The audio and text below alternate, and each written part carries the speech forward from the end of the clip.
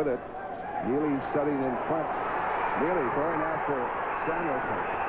Just pulls his jersey and grabbing him as Samuelsson was checking him while he was standing in front of the net. Samuelsson punched him in the back of the head. Neely just wanted a piece of him.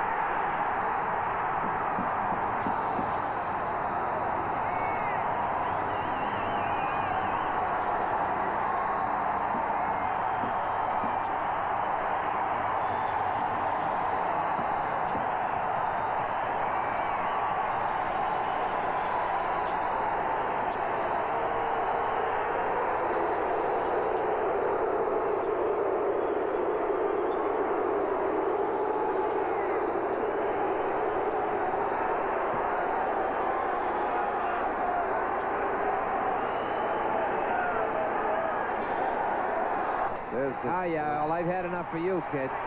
So this comes wrestling. Now, he just turtled. Samuelsson don't want to fight. He's going to give him instigating fighting. Wow.